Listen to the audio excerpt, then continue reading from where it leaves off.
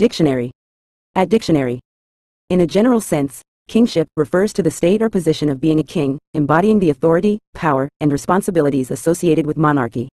It encompasses the concept of rulership over a kingdom or territory, typically inherited through hereditary succession or attained through conquest or election.